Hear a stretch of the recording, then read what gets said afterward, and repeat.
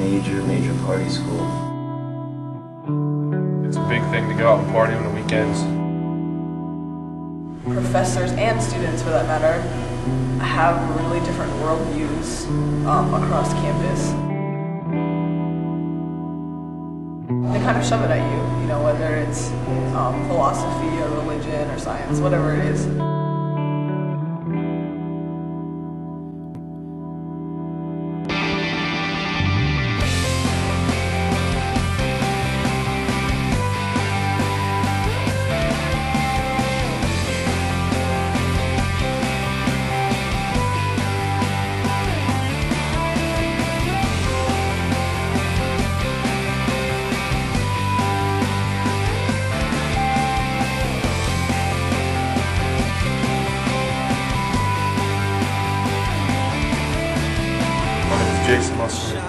My uh, major is elementary education. College life, it- it's different. Your schedule is all up to you, pretty much on your own. I love being on the football team. It's ha- it's like having 90 brothers. We try to be Christians real hard on the football team because there's not too many guys that are. They're all swearing and using all bad language and just doing stuff that's not Christian like. And it's a big thing to go out and party on the weekends. I see that's the biggest downfall. My name is Eric Martin. I'm a sports administration major. I think ROTC students really need God. They have a bright future being commissioned as second lieutenants within the Army. Whatever they do in life could really benefit what they do in the Army. Jesus explored leadership and uh, led his disciples and everything. ROTC students could be the same way, leading their future soldiers.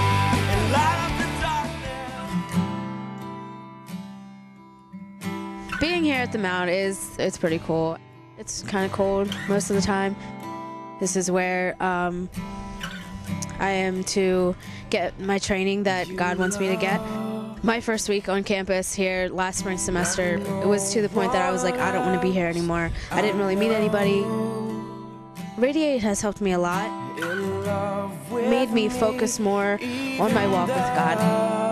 I feel really comfortable with all of them. I feel really close with all of them. My relationship with God and with my friends have grown deeper. Patricia Tolu Ajayi. I'm a bio pre med major from Lagos, Nigeria. It's definitely different because my parents aren't here, and so I have to rely on myself a whole lot more.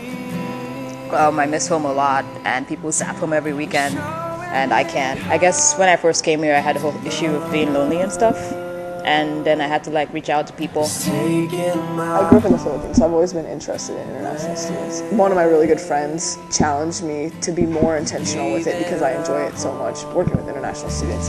This older couple in our church was trying to have an international Bible study too, so we kind of joined alongside of them, and now we have like, I don't know, a group of like 10, sometimes 20 girls and one guy um, coming every week to Bible study.